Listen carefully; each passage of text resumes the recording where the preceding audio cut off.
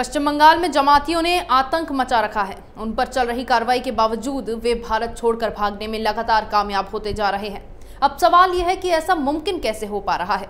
क्योंकि ममता बनर्जी जमातियों की हरकतें नजरअंदाज कर रही हैं, लेकिन उनका ये खेल ज़्यादा दिनों तक चलने वाला नहीं था। इसी कड़ी में अब पश्चिम बंगाल के राज्यपाल जगदीप धनखड़ ने ममता पर आरोप लगाया है कि केंद्र सरकार की तरफ़ से लुकआउट नोटिस जारी होने के बावजूद ममता सरकार तबलीगी जमात के बांग्लादेशी सदस्यों की हरकतों को नजरअंदाज कर रही है, जिसकी वजह से बांग्लादेशी जमाती भारत छोड़कर अपने देश भागने में सफल हो पा रहे हैं। देखते हैं ये रिपोर्ट।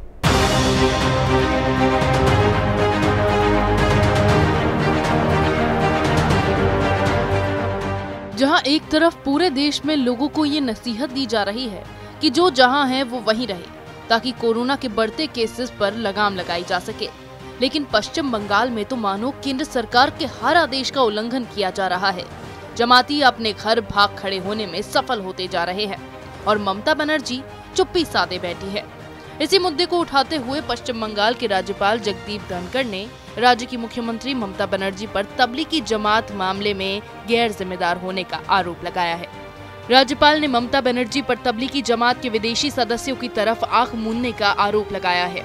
उनका कहना है कि केंद्र सरकार की तरफ़ से लुकआउट नोटिस जारी होने के बावजूद ममता सरकार तबलीगी जमात के बांग्लादेशी सदस्यों की हरकतों को नजरअंदाज कर रही है। इसकी वजह से बांग्लादेशी जमाती भारत छोड़कर अपने देश भागने में सफल हो पा रहे हैं।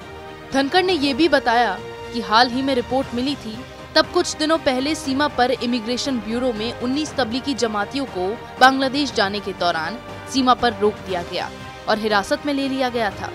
दरअसल बांग्लादेशी नागरिक कोलकाता के न्यू टाउन में मदीनात उल हुजाज के क्वारंटाइन सेंटर में थे। उन्हें बस द्वारा बांग्लादेश भेजा जा रहा था। बांग्लादेश के लिए प्रस्थान करने के लिए हरिदासपुर पहुँचने पर पाया गया कि उनके खिलाफ लुकआउट नोटिस जारी था।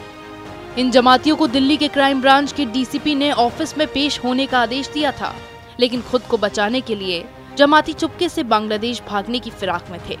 मगर इससे पहले कि वो बस लेकर बांग्लादेश के लिए रवाना हो पाते, उन्हें रोककर हिरासत में ले लिया गया। लेकिन ममता की सरकार की ओर से ये एक बहुत बड़ी चूक थी।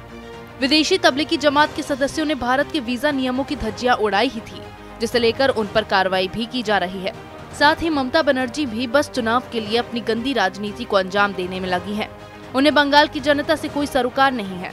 उनकी अध्यक्षता में पश्चिम बंगाल में अब तक जो कुछ भी हुआ, उसे देखते हुए भी धनखड़ ने ममता सरकार पर केंद्र सरकार द्वारा जारी किए गए दिशा निर्देशों का पालन नहीं करने और लॉकडाउन को भी सही तरीके से लागू नहीं करने का आरोप लगाया है।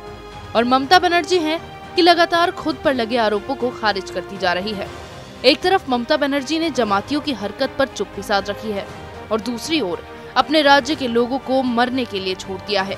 अब जब ममता को लगने लगा है कि इन सब का असर आगामी चुनाव पर होने वाला है तो उन्होंने फिर से एक बार नया पैतरा आजमा कर कोरोना के बढ़ते केसेस के मद्देनजर खुद को लाचार बता दिया और कहा कि ये मेरे हाथ में नहीं रह गया। अब मुझे कुछ नहीं करना है। आप अपने बगल में कोरोना के साथ सो सकते हो। इसे अपना तकिया बनाएँ। मुझे माफ़ करें। ममता बनर्जी ने जमातियों के मुद्दे पर अपनी आँखें बंद कर रखी हैं। इसीलिए ही लुकआउट नोटिस जारी किए जाने के बावजूद भी बांग्लादेशी जमात सदस्य जाँच की निर्धारित प्रक्रिया का पालन किए बिना हरिदासपुर चेक पोस्ट के माध्यम से भारत छोड़ने की कोशिश में लगे हैं, जो कि वाकई चिंताजनक है। इसी तरह की खबरें मैं आपके लिए लाती रहूँगी। तब तक के लिए बने रहिए हमारे साथ। अगर आपको हमारा वीडियो पसंद आया हो तो इसे लाइक करें हमारे चैनल को सब्सक्राइब करें और हाँ बेल आइकन दबाना ना भूलें, ताकि आप तक हमारे वीडियो की नोटिफिकेशन पहुँचती रहे। आप अपना सुझाव हमें कमेंट बॉक्स में दे सकते हैं। हमारे साथ जुड़ने के लिए शुक्रिया।